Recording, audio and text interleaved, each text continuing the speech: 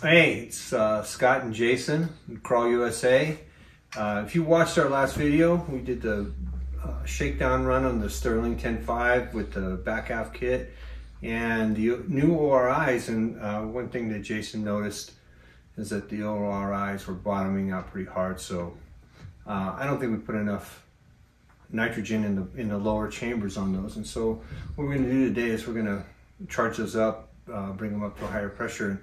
Hopefully it'll uh, smooth out his ride a little bit.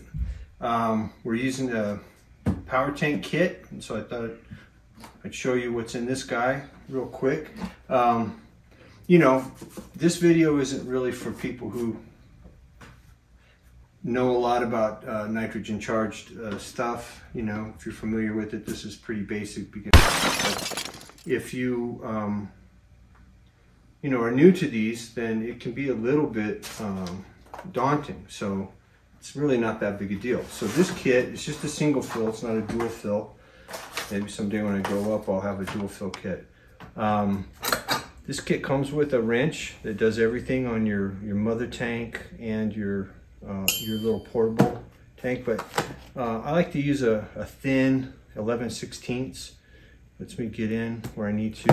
And uh, But this wrench does the same job. So either way, um, this is our little portable power tank fill bottle uh, that we keep filled with nitrogen. This is what we take with us, leave it uh, um, in the trailer, you know, when we go on trails, just in case we need something uh, while we're out.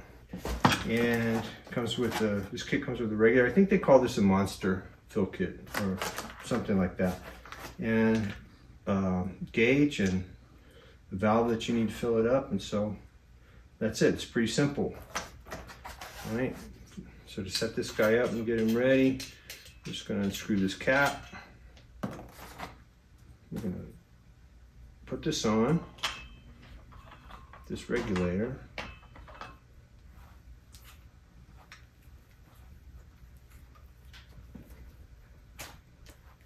Okay. And then we're going to connect this. This kit also comes with a sling so that you can carry this bottle uh, over your shoulder and hangs down and it's, it's pretty convenient. But this will allow us to, to fill these struts up. Right, once we open this bottle, we have this connected to the strut. We open this valve, we can charge it and read what we need to on this gauge. So that's it, let's get started. All right, so just gonna get into position here. Now, you know, if you ask three people the procedure for changing your uh, pressure on these chambers, you're gonna get four different opinions. So um, for minor stuff, um, I don't um, deplete both struts. So I'm just taking the cap off the Schrader valve. Get this guy.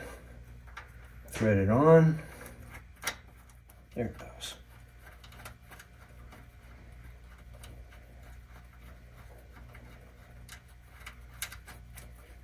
All right, so once that's threaded on, you take your wrench and just snug it. Okay, it has a rubber grommet, right? It's not gorilla tight. You just really just, you know, you're just trying to hold that gas in. So just barely snug. All right, so now when we open this valve, our gauge here will tell us how much pressure we have, which is probably not enough. I think we probably only put 90 pounds in, which is not nearly enough. So I'm going to open this.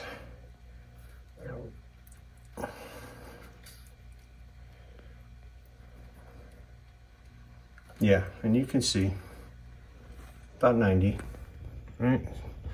So now, once I open the, the tank, the bottle, and this is charged to about 2000 PSI. Okay, so I open this up.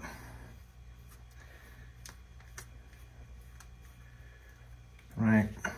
I have my readings on these, on this regulator.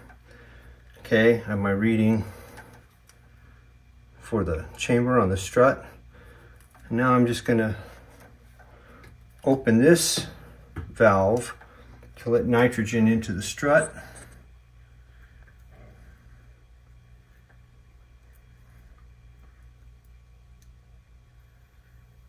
We're going to take it up to about 140.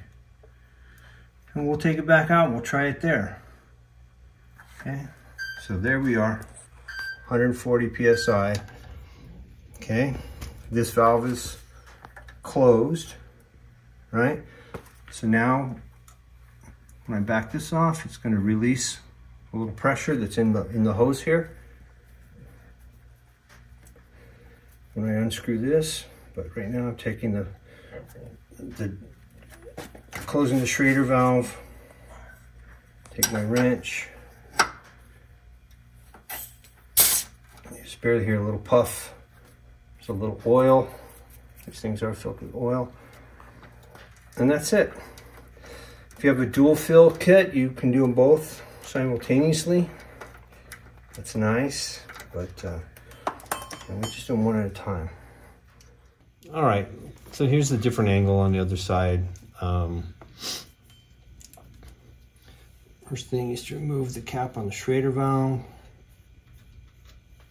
Now that we're looking at this, it looks like we might need some more in the upper chamber too, because now that these have settled, um, there's a little less shaft showing than um, we want.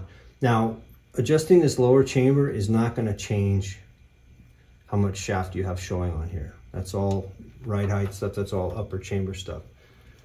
So again, we're going to screw this fitting on to our Schrader valve.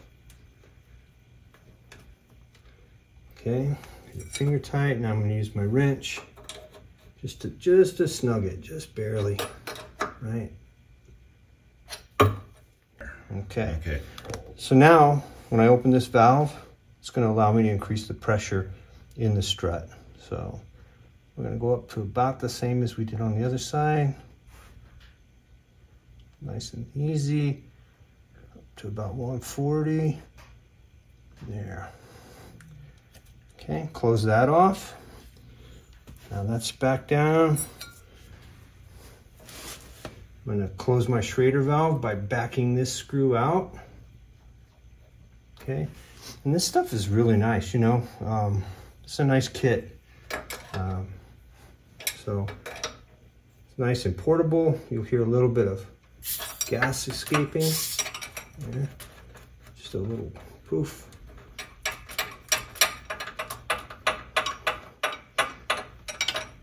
And that's it. Put our cap back on the Schrader valve. Super simple. And this kit makes it easy. You know, it's portable. I can close down this bottle, take everything apart, put it back in the case, and we're ready for the next one. Releases the gas pressure. Now everything comes right apart. No drama unscrew this guy, the regulator. There we go. Put the cap back on the bottle, put everything back in the case, and we're good to go. And we'll take this out. Uh, we're going down to Caballo, doing some pre-run stuff. We're leading trails for the Great American Crawl um, later this month. It's February. Um, down around Caballo Lake. And we're gonna go pre-run those trails this weekend and we'll see if this, this new pressure feels better. If you're not registered for the Great American Crawl, Las Cruces, do it. We'll see you there. Thanks for watching. Give us a like and uh, subscribe and we'll try to do more stuff like this. Hope it helped.